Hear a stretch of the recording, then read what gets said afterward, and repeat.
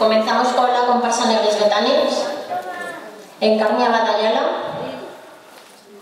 Luis y Molina López, Mari Carmen Martínez Cremades, Charito Regrosa Fernández, de momento. Juan Carlos García Gómez, José Luis Fuertemestre, Rafael Canicio Crespo, de los compromisarios. 48, eh, Pedro Tarraga García, mayor de los compromisarios. Creo que no.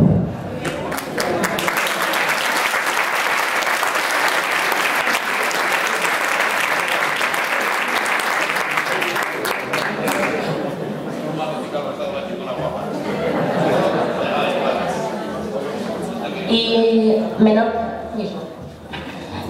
Y menor compromisario del año 91, ¿hay alguien? Del 90, del 92, ¿no? Del 90 también, que Messi Alicia. Marzo, vale. Pues adjudicado Magdalena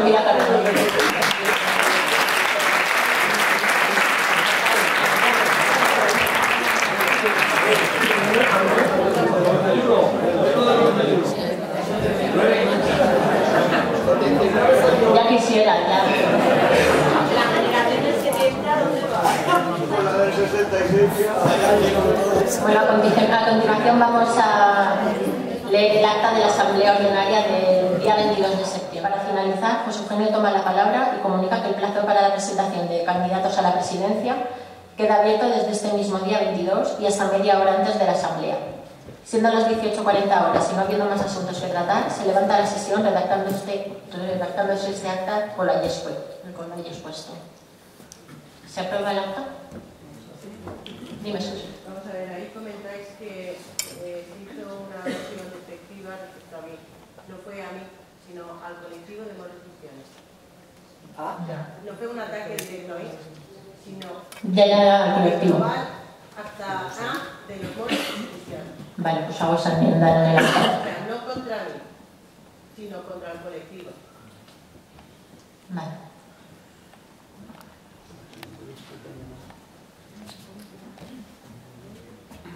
Vale, haciendo esta enmienda se aprueba el acta.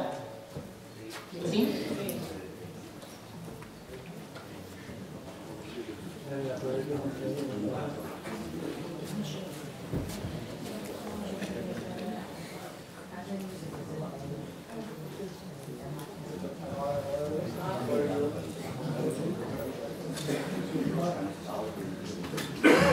Las candidaturas solamente tengo una. Y es de José Eugenio Pérez Flores.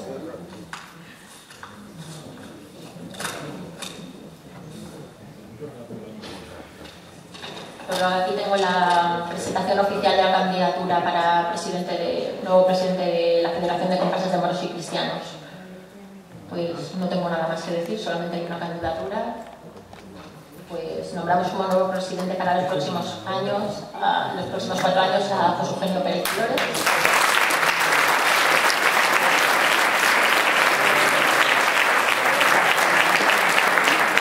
A la espera de que presente a su junta y el presupuesto para el próximo ejercicio, 2012-2013. ¿Quieres decir algo?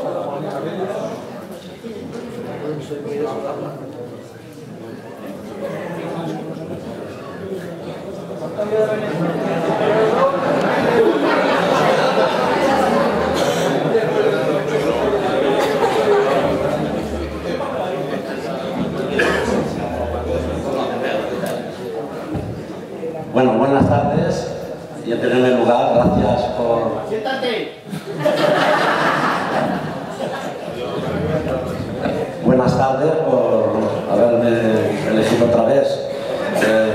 Bueno, elegirme no, si me habéis votado.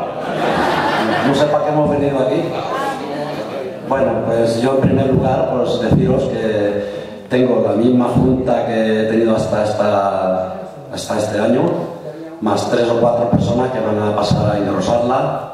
Ya os la daré en la próxima asamblea de presentación de presupuestos, porque claro, ahora hay que elaborar el presupuesto para el año que viene.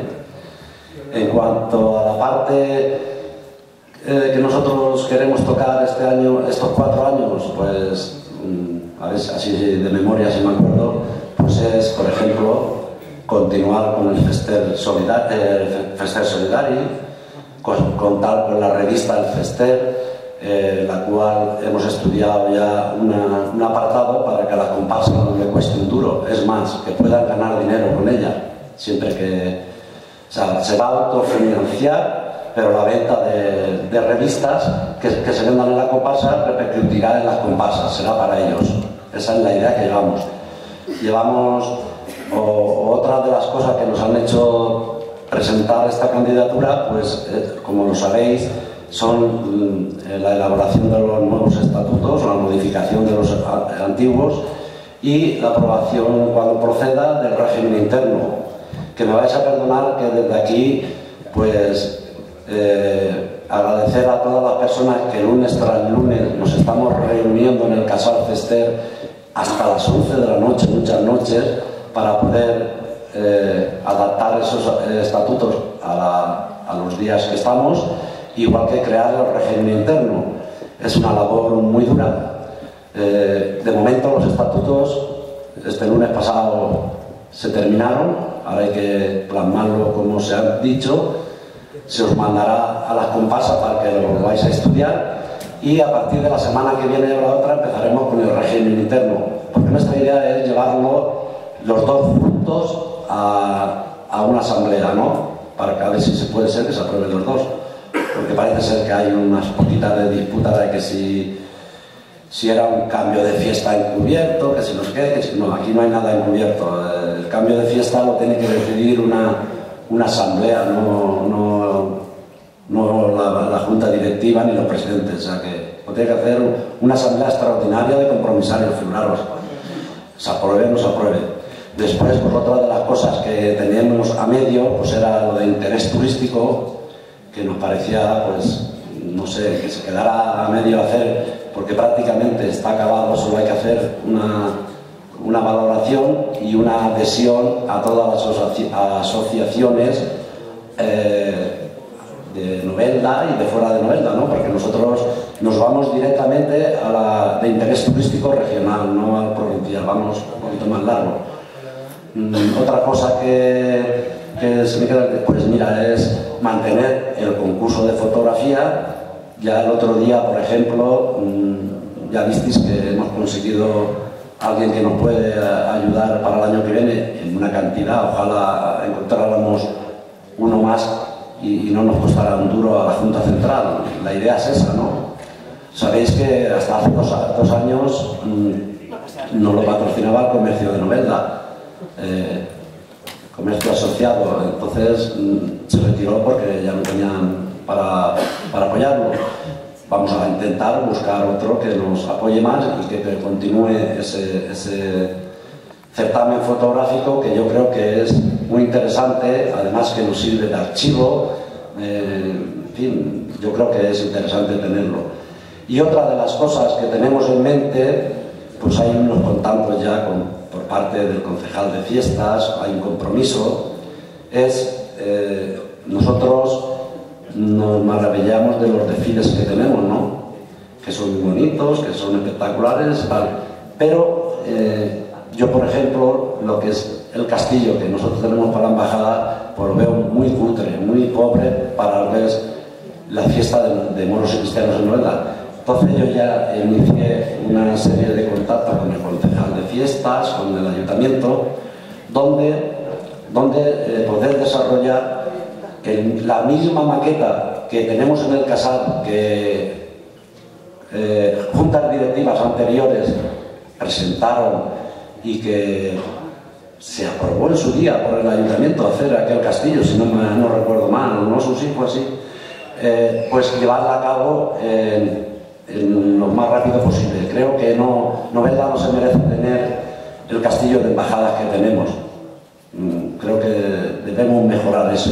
Entonces tenemos una, unos contactos con el ayuntamiento donde ellos están dispuestos a ayudarnos, pero el material, como hasta ahora, hasta el otro día tuvimos que pagar, eh, el material tenemos que pagarlo nosotros, ¿no? Ya en el presupuesto mm, desviaremos si, si se aprueba, claro, si se aprueba cuando presentemos el presupuesto, pues ya desviaremos un apartado para, para, hacer, para elaborar ese castillo que sería a dos años. Pero os tengo que decir que yo he encontrado eh, para que al año que viene, si pudiera ser, estuviera hecho.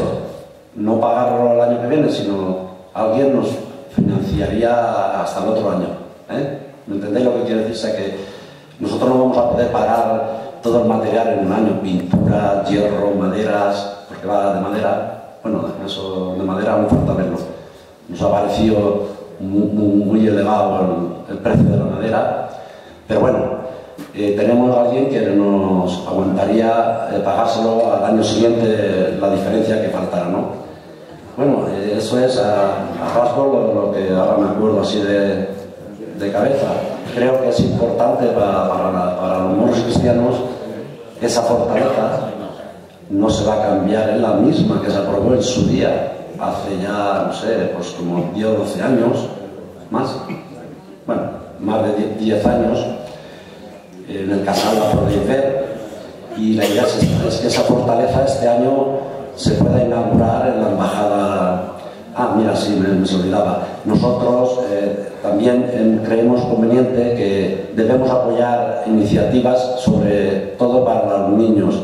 Eh, Mm, es que no me quiero adelantar, pero bueno, eh, hay gente, por ejemplo, Juan Mira, pues él se encarga de la escuela taller de embajadas, que sigue su curso, pero queremos ir más allá, no solo eh, queremos recuperar el concurso de dibujo infantil, el de redacción infantil, e incluso que no se quede en eso solo, sino que lleguemos a, ya lo estamos haciendo, hay colegios que vienen a visitarnos, donde pues les explica, se les enseña las chiladas de cada, de cada comparsa, que por eso sabéis que muchas veces os he dicho que me mandarais una foto de la chilaba oficial.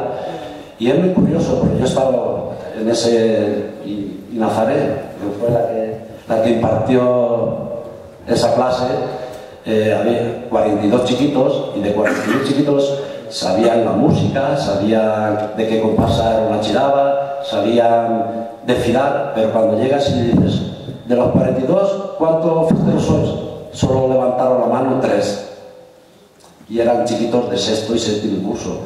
No sé por qué, eh, si no están los papás, parece ser que los chiquitos no, no pueden entrar en las comparsas. Yo creo que eso es un error de cuenta. Hay que empezar a, a inculcar a los chiquitos el sentir festero y, y que ya vayan... Esa es la idea que llevamos, ¿no? Eh, no sé, hay, otras novedades que ya ahora iré años más adelante y yo nada más, agradeceros vuestra presencia, sé que ha sido un coñazo la hora, pero siempre es esta hora la que se hace. Si queréis preguntar algo, queréis saber algo, yo os contestaría, si puedo, si alguien quiere... ¿No? Pues Nazaré yo ya.